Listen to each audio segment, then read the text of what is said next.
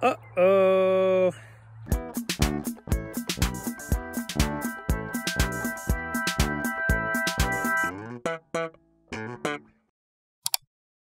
Uh, right here, you do have that, and we'll just uh, ignore that for a second. we'll get to that in a bit. And welcome back to Janky AF. Now, if you saw my other video on my brand new, uh, to me, 1993 Ford Aerostar, I said, well, just ignore this spot right here. There's nothing to see. It's just a little surface rust. Well, it might be a slightly bigger problem than that. Well, after waiting almost six months and on the eve of our anticipated departure, I said, well, I should probably go get the Aerostar inspected before I drive all this way home, four hours about. And uh, of course, when I took it to get inspected, the friendly, kindly gentleman there told me, uh, your frame is cracked in two spots because of rust. And being the idiot that I am, of course, I, I got in such a, a hussy to buy this car. I did look at it in person before I bought it. But, you know, as you do, you kind of want something and you just, uh, you know, figure out a way to get it. And uh, I looked under the car. Now, most of it is clean, as you'll see from some of this footage I took for a, you know, almost 30-year-old car that lived most of its life in Ohio. It is uh, fairly clean underneath, but uh, again, being the idiot I am and not someone who's uh, familiar with, uh, you know, the specifics of vehicles, having, even though I own so many of them, I decided, ah, uh, yeah, yeah, yeah, let's just buy it, you know. so here we are, and uh, it looks so clean on the outside, but obviously there are some issues uh, with it. So instead of uh, driving uh, all the way home, we're going to make sort of an unscheduled stop at uh, the beautiful welding shop here in Buffalo, New York, and they're going to tell us just how bad it is. So here we go. Um, turn on the engine here. Now it does roar to life. It's a little loud. It does obviously needs a little exhaust work, but uh, apparently that's not the only thing on the undercarriage of the vehicle that is uh, starting to go, shall we say. Snap in my cute little seat belt here. This is kind of a two two-hand operation. Beautiful seatbelt buckles, don't you think? So we're gonna pop her in and uh, you know, slight lurch there when we go backwards. And uh, here we go on to the uh, frame shop to get the bad news. So she does drive pretty nice, I gotta say, although, you know, the streets of Buffalo, as in many uh, towns and cities in upstate New York, the roads are not too great. It's kind of like dodging a minefield, and now I have this news about the frame. I'm sort of, uh, you know, every single little bump, and I don't know how bad it is. I have no frame of reference. So the great dude at the, uh, the shop that inspected it told me, you know, like, ah, just, uh, you know, don't even bother fixing it. Just find someone who will pass it for inspection and it'll be fine for just driving around town. He said, I drove a car with a broken frame for a year. It's no big deal. So that was kind of confidence inspiring. But then I said, you know, I'm supposed to drive it four hours back home. And he said, yeah, well, you might not want to do that. And then he goes, or, or just send it, as is the parlance of our times. So, uh, you know, I, I, really don't know, and I'm trying to err on the side of caution every time we go over a little bump. Now, the Aerostar does have a live rear axle. Um, it's not the, you know, it's not like riding on airbags or something like that. As we navigate our way here through this beautiful Main Street traffic. So I really don't know. So we're gonna try to stay off the, uh, you know, the main thoroughfares for now and take some of the back roads. It'll be a little longer journey but uh, erring on the side of caution. It's always good when you make an extremely irrational decision to then suddenly be very, very rational, rational and uh, cautious about all your decisions to try to make up for your one terrible decision. So that's what we're trying to do here. Um, but just a gorgeous day out, as you can see.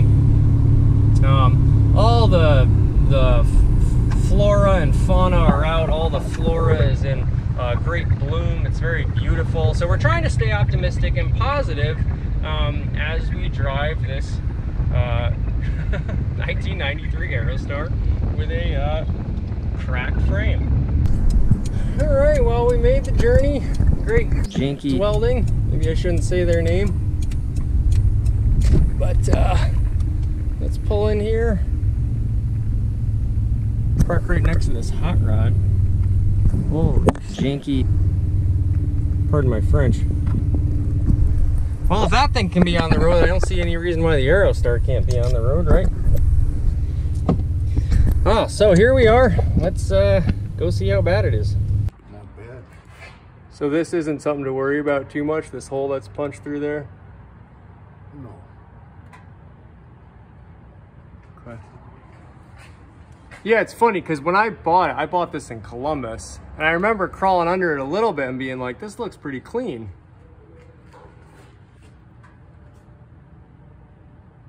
And obviously, like, you know, this, but that's pretty much superficial, right? Yeah. It's like she's got a little bit of oil coming off of her. And the front looks okay? Yeah. The Front looks fine.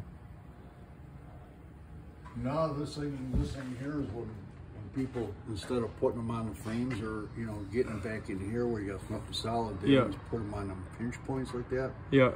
I've heard I've heard these running boards are dissimilar metals too. The running board's different than the actual. So I've heard that. I don't know. I'm not a welder obviously, but I've heard if there's dissimilar metals it can cause corrosion more next to each other. Mm, not really. Yeah, okay. But that just started because somebody, you know, Right. put the lift on here. Yeah, and you can if you open the door, you can look down and it's all caved in.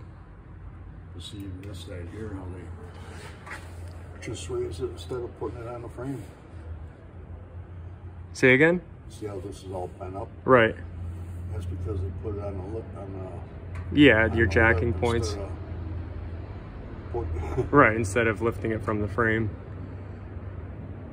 Yeah. All right, well, you've assuaged my paranoia. I appreciate that. I'd drive it, Yeah. You threw away fine. 70 miles an hour. yeah. Cool.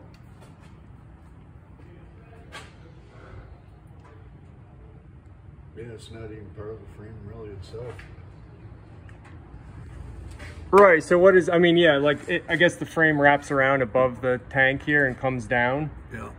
So this is, what is this, just connecting your, All that is just basically more more support for a, I suppose, a side collision, okay. but it's Right. not. It has nothing to do really. It's not really structural.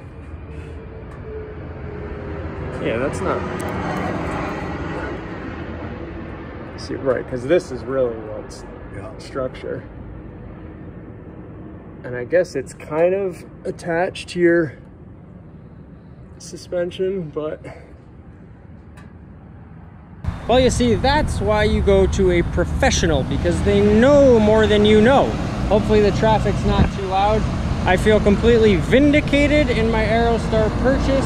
I couldn't be more ecstatic. Of course, this always happens in filmmaking. Right after I stop filming, uh, he goes, You could race this thing in the Indianapolis 500. And I chuckled and he chuckled. And then he said, The only problem is you'd come in last place. And I said, Ha ha ha. And I said, Oh, but you know, with this three liter engine, it's pretty peppy. And we laughed and we had a good time. And uh, it was just absolutely fantastic. The car just feels better instantly. It's such a, not a placebo effect, but just a mental thing. Like you feel more confident in the car. You feel like you can, you know, you're not going to you know, the whole rear end of your car is not going to fall out at any moment. So of course, there's only one way to celebrate this great victory and success is by going to a great thrift store in our great uh, hipster van and our hipster thrift store and our hipster YouTube channel. It's Janky AF, baby. And uh, I'm on fire right now. This is a great, great day. Can't wait to drive the Aerostar home. After this uh, minor lapse and, uh, you know, slight, quick, deep depression, I'm feeling great again. And uh, of course, I tipped the guy. He said, no charge. I said, here, take this. You guys are doing God's work. People that work with their hands, I have great respect for. Um, and just, you know, his expertise, 40 years he's been at this game. And, uh, you know, being able to give me sort of a clean bill of health and the confidence is invaluable. So, of course, I had to give him a small tip. Always tip your service people. They're working hard for you. And uh, just that little, that little uh, thing goes a long way. I feel like we had a nice human moment together. So ecstatic.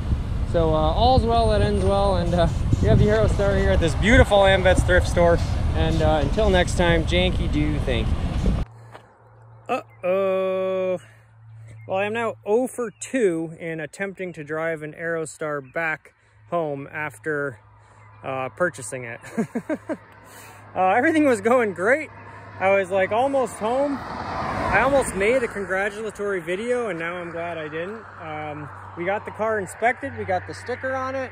It just uh, clicked over 119,000 miles. Everything was going great. Just cruising at 60 miles an hour, nice and slow. Made it all the way down the thruway over three hours. And uh, we had just like a half an hour to go, 40 minutes to go. And uh, check engine light came on and I was blowing out some, a lot of white smoke out the back. Um, this, this big hill here that we come up, uh, it's like sort of the final push and you gotta climb this hill. Now, two things, I did put the car into drive instead of overdrive because I've, you know, was reading that when you're, you know, trying to climb a hill, you don't want it constantly shifting up and down, so put it in drive. I don't think that had anything to do with it, but the check engine light came on, then it went away, didn't seem to be any problems. Then I noticed a lot of exhaust coming out, and then um, so I decided to pull over and now you see, you can see this, we have quite a bit of a oil still leaking out of the vehicle and maybe some other fluids here.